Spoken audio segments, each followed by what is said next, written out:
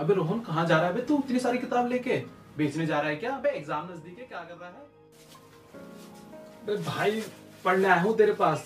भाई note making बता दे, इतनी सारी किताबें लाया हूँ, इसमें से कुछ नोट मेकिंग के बता दे यार, मेरे हर बार नंबर कट जाते हैं यार। तेरे मार्क्स कैसे हैं भाई? बता। तेरा भाई तो इंग्लिश जुगाड़ देखता है। इंग्लिश जुगाड़ यूट्यूब पे सर्च मार। अबे सारा पेपर सॉल्व है। चुटकियों में इंग्लिश जुगाड़?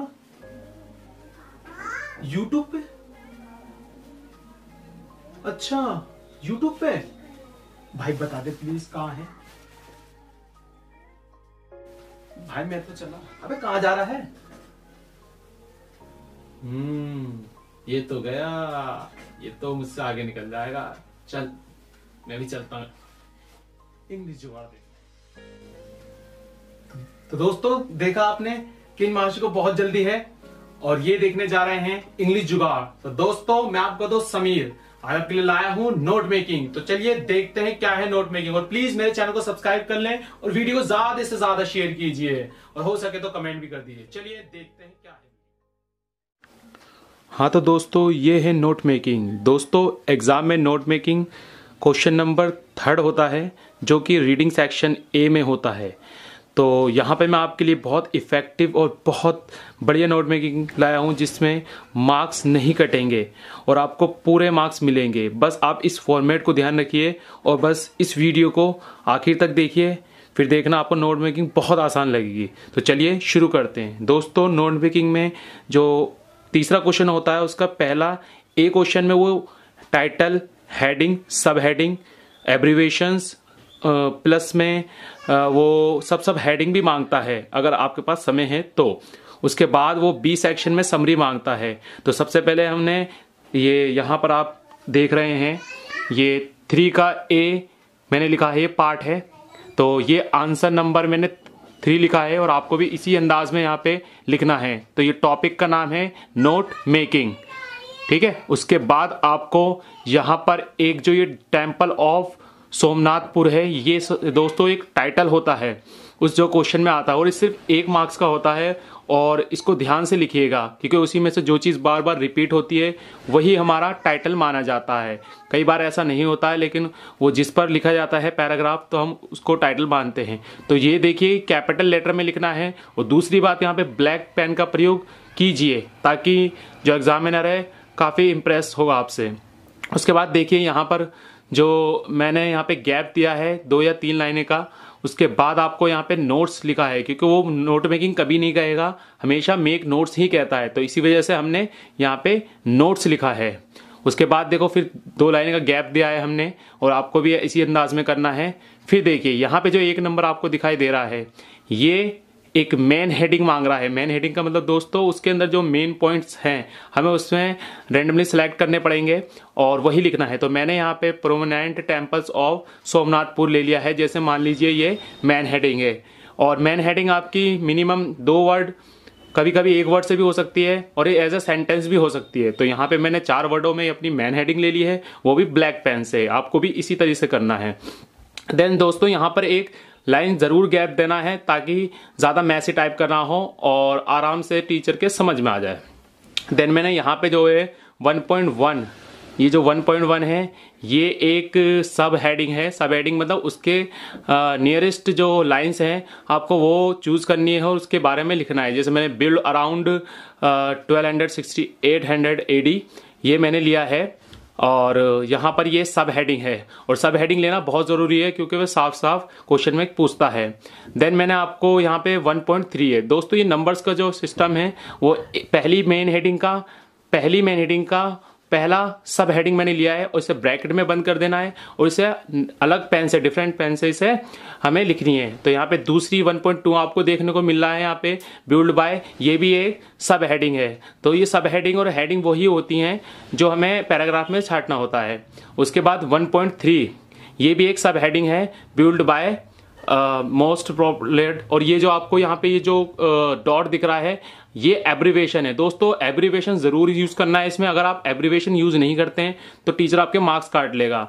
तो एक नंबर का एब्रीवेशन होता है तो कृपया इसे ज़रूर करें। तो यहाँ पे मैंने एब्रीवेशन करने का बहुत आसान तरीका होता है। अगर कोई भी पाँच वर्ड का है तो उसे स्टार्टिंग के तीन वर्ड लिख लीजिए। या सात वर्डों का है तो उसे आसानी से आप पाँच वर्ड लिख दीजिए, तीन वर्ड लिख दीजिए, और लास्ट में आके डॉट लगाना है नीचे तो ये एब्रीवेशन बन जाता है। उसके बाद ये जो 1.3 का ए दोस्तों, यहाँ ध्यान देने वाली बात है कि जो सब हेडिंग है, ये एक सब हेडिंग है, जो कि 1.3 ये हमें सब हेडिंग भी वहीं से ही थोड़ी लेनी है, ताकि जो पॉइंट है, वो हमारे क्लियर हो जाए। और यहाँ पे एक सब हेडिंग एक मैन हेडिंग में ज़रूर लेनी है। कम से कम एक सब हेडिंग ज़रूर लेगी, लेनी होगी। और अगर टाइम हो तो दो भी ले सकते हैं। और वैसे इतना बड़ा इशू नहीं है सब सब हेडिंग का, लेकिन आप फिर भी इसे इस्तेमाल कर सकते हैं, अगर आप पे टाइम हो तो। और उसके बाद नेक्स्ट जो है, वो यहाँ पर ये दूसरी देखिए मेन हेडिंग मैंने यहाँ पे दूसरी मेन हेडिंग ले रखी है temple the beauty and vitality तो दोस्तों जो दूसरी मेन हेडिंग है, आप दूसरे पैराग्राफ से उठा सकते हैं। अगर पैराग्राफ ज़्यादा नहीं है क्वेश्चंस में तो आप उससे थोड़े नीचे से कर सकते हैं। लेकिन अगर पैराग्राफ्स हैं तो आप पैराग्राफ्स का प्रयोग यहाँ पे कर सकते हैं। तो इसी के अंदर मैंने देखो टू ले रखा है। और यहाँ ध्यान देना यहाँ पे देखो ब्लैक पेन का प्रयोग किया जा रहा है, कुछ डिफरेंट करा जा रहा है, जिससे काफ़ी अट्रैक्टिव लग रहा है एग्ज़ाम्स में जो ये पेपर है। तो 2.1 इसलिए लिखा है क्योंकि ये दूसरी मेन हेडिंग है और इसकी पहली सब हेडिंग है। तो दोस्तों देखो यहाँ पे एक सेंटेंस भी नहीं है और मेन मेन वर्ड लिखे हैं यहाँ पे मैंने। तो बहुत से लोग कहते हैं कि इसमें सेंटेंस लिखना चाहिए और उसे दो वर्ड लिखने चाहिए, ऐसा करना चाहिए। लेकिन दोस्तों मेरा मानना यह है कि अगर आपका कंटेंट अच्छा है तो उसमें कोई सेंटेंस लिखने की रिक्वायरमेंट नहीं है। और बाकी अगर आपको लग रहा है कि डाउट है कि ये वर्ड हो सकता है तो आप उससे सेंटेंस में भी लिख सकते हैं। इतना कोई इसमें कोई बाउंडेशन नहीं है। लेकिन ज़्यादा बड़े सेंटेंस लिखना अनिवार्य नहीं है। तो यहाँ पे मैंने वर्डिंग लिखी है और वर्डिंग ही लिखी जाती है। और देखिए यहाँ पे 2.2 फिर मैंने लिखी है, ये भी सब हेडिंग है। और देन लास्ट में आके 2.3 ये भी एक मेन uh, हेडिंग है। हालाँकि मैंने इसमें सब सब हेडिंग का प्रयोग नहीं किया है। इतना ज़रूरी नहीं है। अगर आप पे टाइम है तो आप इसे ले सकते हैं। उसके बाद देखिए यहाँ पे मैंने पीटीओ लिख रखा है क्योंकि ये नेक्स्ट पेज पर है। तो देखते हैं आगे क्या है।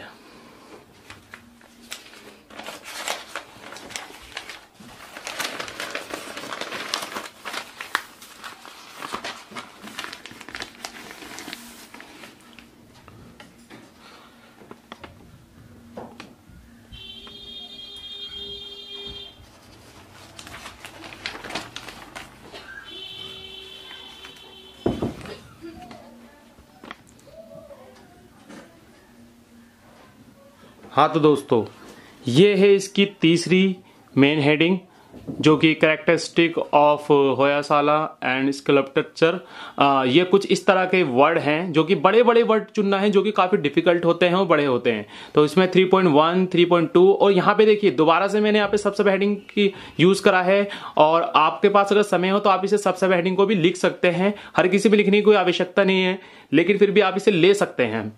उसके बाद मैंने 3.3 का प्रयोग करा है। देखिए, यहाँ पे भी एक सब हेडिंग का प्रयोग किया गया है। तो यहाँ पे आप तीन तीन सब हेडिंग का प्रयोग कर सकते हैं, जिसके अंदर अगर एक एक सब सब हेडिंग भी लगा दें तो कोई बुरा नहीं होगा। उसके बाद मैंने फोर्थ जो मेन हेडिंग ली है, देखिए, यहाँ पे भी मैंने चार प्रयोग किए हैं, यहाँ पे तीन मैन हेडिंग मैंने मैं सब हेडिंग ली है 4.1, 4.2, 4.3 तो देखिए यहाँ पे ज़्यादा बड़े सेंटेंस भी नहीं है और कुछ वर्डिंग भी नहीं है इतनी ज़्यादा छोटी। तो यहाँ पे बिल्कुल परफेक्ट एकदम बहुत अच्छा फॉर्मेट यहाँ पे देखने को मिल रहा है आपको। यहाँ पे कम से कम आपको चार मेन हेडिंग बनानी ही पड़ेंगी। दो मैंने पीछे पेज पे ली थी और दो यहाँ पे हो गई। और उसके बाद एक जो मैंने कि जैसे कि बताया था कि एक नंबर का एब्रीवेशन पूछेगा जो कि बहुत ज़रूरी है। तो यहाँ पे एब्रीवेशन का प्रयोग करना ज़रूरी है। तो देखो मैंने यहाँ पे जो लिखा है की टू एब्रीवेशन इसे कहीं साइड में नहीं डालना है। बच्चे क्या करते हैं, इसे साइड में डाल देते हैं, इसे इतना इंपॉर्टेंस नहीं देते। ऐसा नहीं करना है। इसको ध्यान से देखना है और यहाँ पे की टू एब्रीवेशन ज़रूर लिखना है, फिर अंडरलाइन कर सकते हैं इसे। उसके बाद देखिए सीरियल नंबर ज़रूर लिखना है। मैंने one two three four five exam में क्या रखा होता है? मिनिमम फोर लेकिन हमने यहाँ पे फाइव भी ले लिया तो इतना बड़ा इशू नहीं है। उसके बाद एब्रीवेशन वर्ड्स एब्रीवेशन वर्ड्स इसलिए हैं क्योंकि ये एब्रीवेशन वर्ड्स हैं। तो मैंने क्या क्या लिया था यहाँ पे? प्रॉल्स जैसे कि आपको डॉट दिख रहा है, और यहाँ पे प्रोलफेलिक जैसा भी है ये प्लैक प्लैकेस ठीक है? तो यहाँ पर आप देख रहे हैं यहाँ पे छोटे वर्ड है और यहाँ पे इसकी पूरी फुल फॉर्म लिखी हुई है। ये आपको ज़रूर करना है खासतौर से इस नोट्स में। तो ये एब्रीवेशन होता है एक नंबर का, और लास्ट में इसको बंद ज़रूर कर देना है, इसे सर्कलाइज करना है, और ये बहुत ज़रूरी है। अगर आप इसे सर्कल नहीं करेंगे, बंद नहीं करेंगे बॉक्स में बंद नहीं करेंगे तो आपके मार्क्स डेफिनेटली कटेंगे। तो दोस्तों, ये था तरीका ए अब हम चलते हैं इसकी समरी पे। समरी तीन नंबर की होती है और ये दूसरे बी में आती है। तो देखिए, यहाँ पे एक समरी देखने को आपको मिल रही है और और ये बॉक्स में है। ये एक न्यू फॉर्मेट है जो कि एक बॉक्स में देखने को मिल रहा है आपको। तो देखिए, यहाँ पर ये हम, जी।